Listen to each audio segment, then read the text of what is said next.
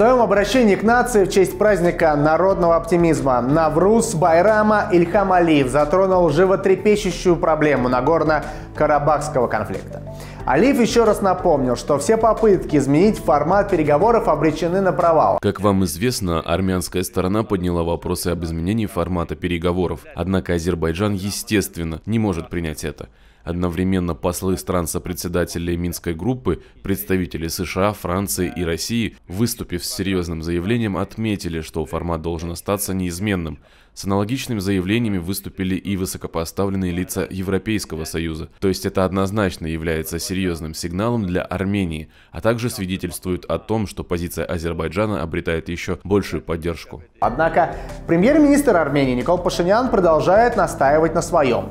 Он хочет видеть за столом переговоров представителей непризнанного Карабаха. Вот что он говорит. Это не каприз и не предварительное условие. Там, где наши партнеры считают нашу позицию чересчур жесткой, мы можем смягчить, но ожидаем того же от оппонентов, иначе диалог не получится. Вот эта жесткая характеристика по тому, чтобы армянская община Нагорного Карабаха участвовала в переговорах, она является формой снятия с него ответственности за компромисс является формой проявления готовности к компромиссу.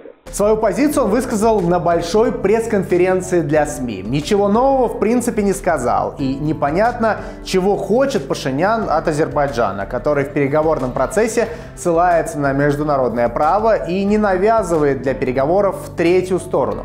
Тому же Азербайджан предлагает конкретные шаги после возвращения территорий, которые по международному праву принадлежат Азербайджану, а именно экономическая деблокировка.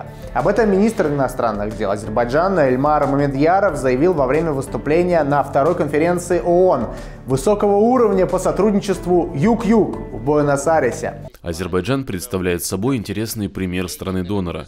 За эти годы Азербайджану удалось восстановить, диверсифицировать и модернизировать свою экономику, одновременно снизив уровень бедности с 49 до 5%, что наиболее важно, эффективно осуществив интеграцию в общество как беженцев, так и вынужденных переселенцев, Азербайджан, развив человеческий капитал, который мог бы стать возможной сферой для стран сотрудничества Юг-Юг, накопил огромный опыт в предоставлении им надлежащих жилищных, медицинских и образовательных услуг, обеспечении их занятости. Сотрудничество Юг-Юг открывает перед развивающимися странами и странами с переходной экономикой реальные возможности по обеспечению поступательного экономического роста и достижения целей в области устойчивого развития.